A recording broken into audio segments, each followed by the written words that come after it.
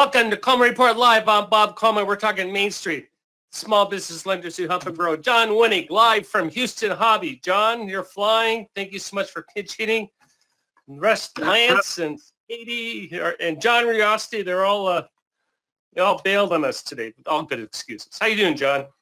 I'm doing great. Doing great. I will say it's my first true business trip in I don't know five months, and I had seven meetings, and only one person could meet with me, and they had a conflict. So it is encouraging that people are anxious to meet again. Um, so it's it's good to be back.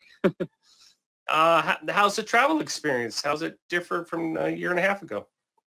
Um, you know, I was I was telling Joseph, the flights themselves are as busy as they ever were. Um, you know, the airports um, kind of feel like you know, 50 to 60 percent like they were.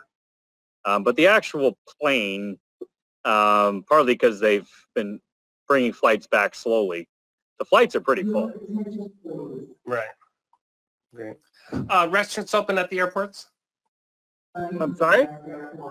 Are the restaurants open at the airports? Uh, yes, the restaurants have come back to life. Um, it's, um, I would say 75% of them seem to be open. Okay. Well, that's the first question we have in the poll question. Number one, have uh, do you have one of your borrowers who have had a successful funding, or I guess we should say approval from the Restaurant Revitalization Fund? John, you were one of the first ones that we talked about that called it, said, hey, this is going to go fast, and it went fast. Uh, yeah, it's going to be well oversubscribed. There's going to be folks left out, and I'm sure they'll be pressured to do something else. Well, that's too bad. Only 3%. I know someone who's done that. Uh, that That's unfortunate. Um, we'll talk about that in a second on what's happening with that. Uh, we have the same question, though, for shuttered venues.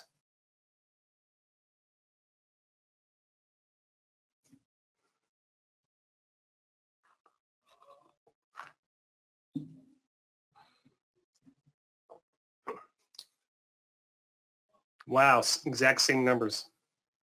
Those are the exact, almost the exact. That's too bad. Uh, 3% yes, 42% no for those of you who don't have that. Joseph, you got to keep reminding me to give those numbers for people who aren't doing the screen.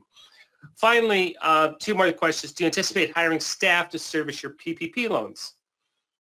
The ones that are unforgiven.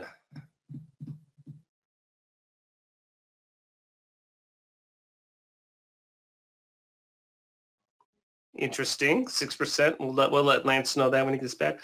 And finally, does your lending institution do business in California?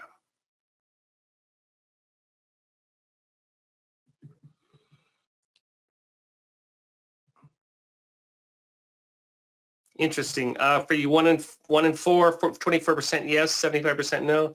Uh, we're going to talk about uh, what they're calling it the mini CFPB program at California's Institute. Hey, first thing we need to do, John, is we need to do a correction from yesterday. Uh, I will take uh, responsibility. And I said FDIC insurance institutions reported an increase in income, in fee income of 36%. Uh, that's actually a decline. What has, so that was minor error, John. and um, what has increased have been core deposits. Deposits are up 22.5% for the year. Uh, banking industry loan portfolio is increasing. Uh, obviously, um, loan delinquencies are down, but we see that as, as uh, extending. John, uh, real quick, uh, commercial real estate, 7A loans, um, outlook, uh, sort of your expertise. What do you see outlook in that specifically as it relates to 7A and 504?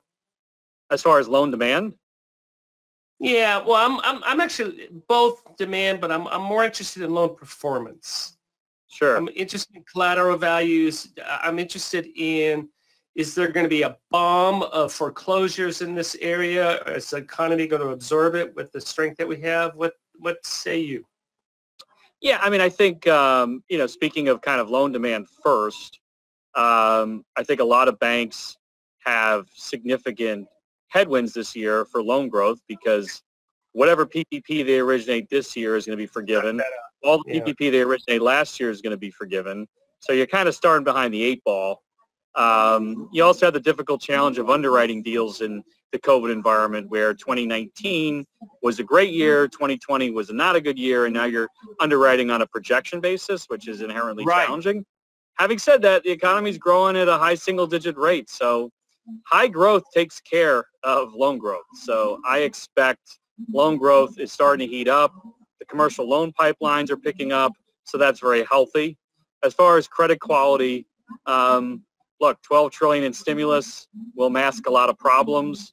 I uh, wrote in my blog today that um, um, Hertz in one year has gone from bonds trading at 15 cents a dollar to a recovery from the shareholders. So effectively, effectively, we've gotten rid of essentially all of the big distressed debt problems. I, I can't recall a company that has closed of any significance in the past year. Um, having said that, there are real costs to that. Um, inflation's starting to heat up, and there's going to be pressure on the Federal Reserve to put the lid on inflation the second half of the year. So I do think the um, commercial real estate, you know, will look good for a while, but could have some challenges when the Fed starts raising rates again. And of course, things like office, the big unknown with office is the extent to which people will return to their offices again. And there could be a permanent need for less office space. Yeah, that's, uh, let's, let's start with that one first. Um, expand on that. I guess what I want to know is I'm a lender and I'm going to be very leery of financing any type of business in the downtown area that's catering to office workers. And we don't know how many people are coming back. Yeah, I mean, um, I mean, I will say just from my experience in downtown Chicago, aside from the Potbellies opening up two weeks ago, I can't really see any evidence that there's been a return of people back to the offices yet.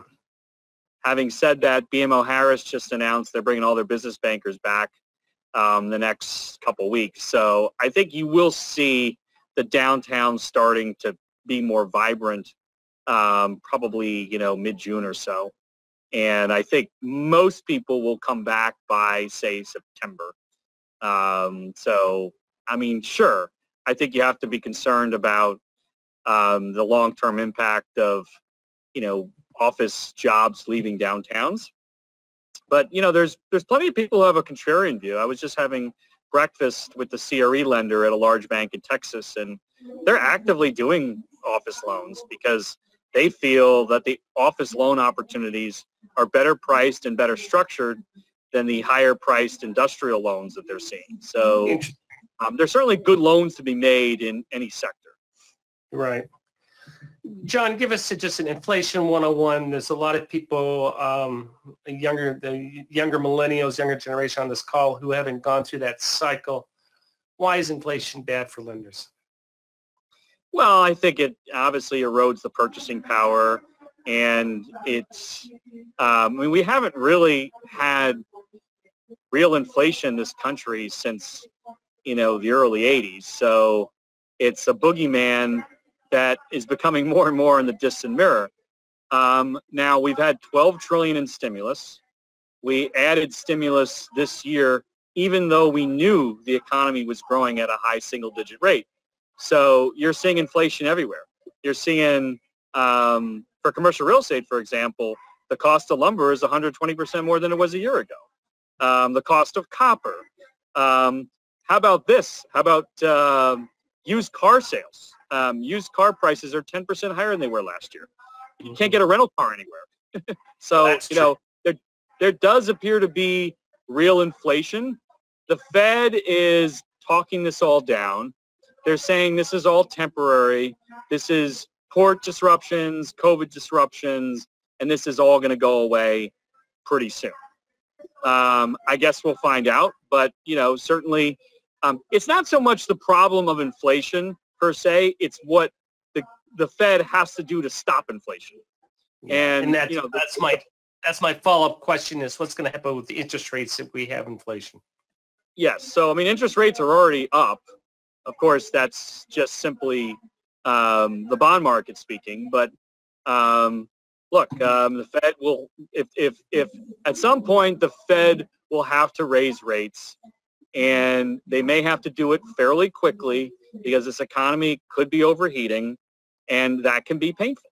And, you know, we've gone from unprecedented levels of stimulus, near zero interest rates, trillions of dollars of stimulus. And, you know, the, the, the, the, the, end of that is what happens when rates are higher and there's no more stimulus. So, you know, the economy could still be very strong because of the reopening part, but it's certainly going to have some challenges it doesn't have now. I know you don't have the answer, but I'm going to ask the question anyway. Uh, how high do you think rates will go? How high will prime rate go? Yeah, look at the smile. And no, no one knows. Yeah. I understand that. I guess give me one scenario where it could rise, and what would it rise to? I mean, I think I wouldn't be surprised this year if rates end up as high as they've been since 06. So yeah, I could definitely see, I could definitely see, you know, a seven or eight percent coupon being a decent fixed rate. Um, you know, at some point this year. And as a bank, I would be certainly nervous about lending money out for 10 years right now because what looks like a good rate right now, if you're not match funding it or you're not hedging it somehow, you could end up with an upside down portfolio. Right, and there's two issues on that. Number one is the rise in interest rates are going to impact your borrower's cash flow. And number two, then the institution has an interest rate exposure. Um, very good. Um, what else are you working on, John? Um, by the way, John uh, does a great weekly blog report. Make sure that you get that. Uh, uh, he does. Um, he is. Are you the chair, or I know you're on board of directors of a of a CDC uh, SomerCor, correct? Yeah, I also chair the board of SomerCor, so I have my eye on the CDC world. Um, you know, the CDC. I mean, I think I'm. I think you're starting to see people uh, buy buildings and equipment again. So um, uh, certainly seeing an uptick in originations on the uh, the 504 side. So that's uh, that's certainly very healthy. John John has an expertise in that. Uh, what else? Uh, but his expertise really is in trading uh, portfolios. What else do you? What else are you following? What other trends are you following right now? Yeah, I mean, one thing I'm noticing is how hungry banks are for loans. Um, stuff that nobody think would ever get paid off is getting paid off. Um, we are, I'll give you an example. Um, names should be remain anonymous, but oh, that's um, no fun. One of my clients is looking for a pool of, um, you know, they're deposit heavy, asset light. They're looking for a pool of commercial real estate loans in Northern There's California. There's a lot of lenders in that category. Yeah, go ahead. Go ahead. And you know, um, they're underwriting. They're going to pay a pretty significant premium. Their yield's going to be in the threes, and you know, the two of the larger assets in the initial pool we got were SROs and single room occupancy, which is about as it's a pretty good asset class to lend on because it's pretty safe, but from a standpoint of appeal, it's certainly collateral lenders try to avoid because they're. All right, give us some definitions. What's an SRO? Single room occupancy. So basically, it's it's like an adult dormitory where you have 120 to 200 unit rooms um, and you share bathrooms. It's very popular, or well, it's it's you see it in Chicago, New York, San Francisco. And I guess the point I was bringing up is my client was like, won't touch that asset class. Then it's like, yeah, we kind of need loans. you know, we'll do it. So, um, you know, I'm definitely seeing lenders stretch. I actually looked at a deal that a that a a, a, a bank did, and they underwrote a six-unit apartment building with basically no income. And I was kind of scratching my head.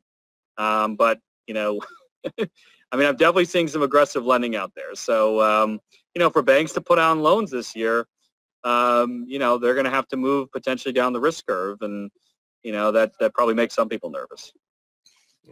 By the way, um, I forgot to give Daniel credit for um, pointing that error out to us. Daniel, thank you very much. Uh, when we missed uh, that, I, that was on me. I just I, I missed the uh, missed that. Uh, I want to talk real quick about restaurant revitalization. You called it. You said it was going to go fast. It went fast. This came from the administrator the other day.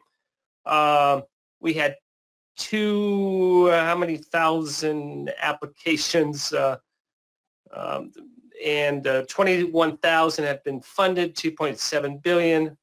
We have another pipeline, but right now applications will only be uh, accepted for loans under 50,000. What do you think of this program, John? And is this going to help? Oh, I mean, it's, I mean, let's be honest, it's a windfall.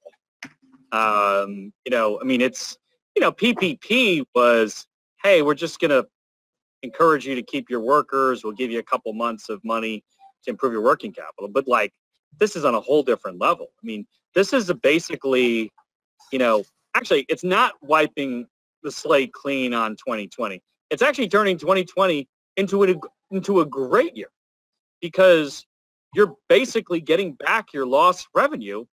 But let's be honest, in 2020, you had a lot lower expenses, right?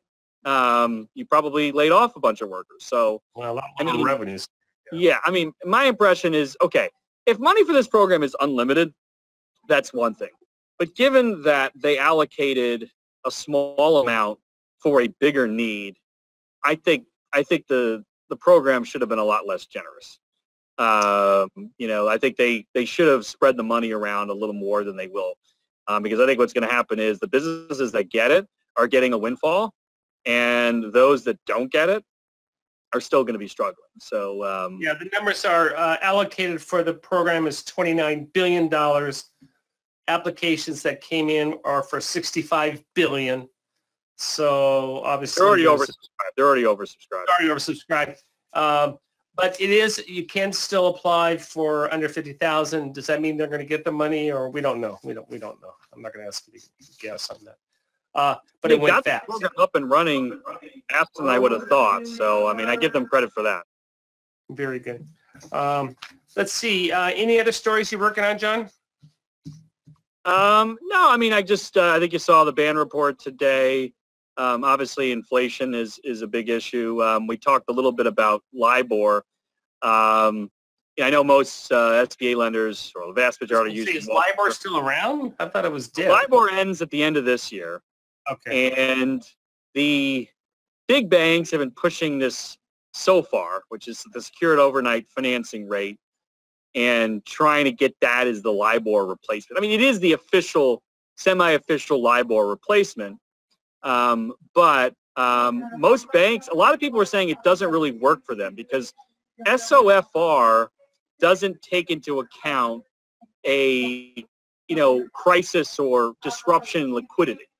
Um, mm-hmm. So, say for example, there's some sort of problem in the money market industry, or there's some sort of minor freeze. So far, is not going to reflect that. Um, so people have been using the Bloomberg um, alternative. Bloomberg has got a rate that's popular. And then there's also this uh, third one um, whose name escapes me. But um, there isn't quite a consensus. Now, the, the issue for lenders is the vast, there are so many loans tied to LIBOR um, that have, you know, resets coming up. And obviously the documents allow you to substitute indexes, but, you know, clearly that could be an area of dispute with commercial real estate or yeah i know that. Yeah sba they allow libor they allowed lenders to choose libor. A few did but i know that's um, it doesn't really impact lender lenders today.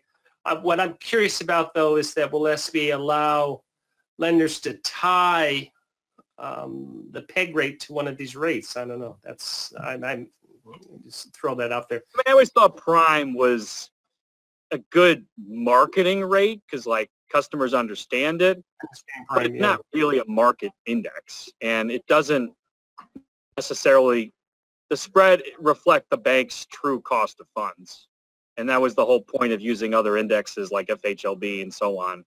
Um, you know, they're they're better substitutes for a bank's cost of funds. Yeah, and I was allowed... using something other than prime, but I understand that it's popular. yeah. Um, and SBA uh, will allow, they have a peg rate, they will allow other rates. If you're getting creative and you're using a rate for your conventional loans, look into using that rate for SBA lending if there's a little bit more of a spread for you. Um, that that is really a one-off, really niche stuff. I just mentioned that that there are alternatives, so you're not you're not tied to prime, and you're also not tied to floating prime. You could fix these rates, right, John? Yes, obviously you can. Uh, you can. Okay, very good. John, I really, really want to thank you so much for pinching. I think we called you at Apologize about. for the logistics here. I'm standing in an airport, in an empty gate at Houston Hobby Airport. So I try to find a place that was as quiet as can be, but you did a good job. Now, the, the real hopefully, question. hopefully, hopefully you heard, heard us okay. now, the real question is, where's your iPhone? Uh, my iPhone's somewhere missing, but the Coleman webinar attendees are far more important. So we'll Oh, be able to well, be missing my phone let's- later. John, I really appreciate it. Uh, thank you. Uh, always love having you on and love having your insights. Uh, thank you all for joining us uh, for Coleman Report Live and for supporting America's Main Street. One entrepreneur at a time. Thanks, John.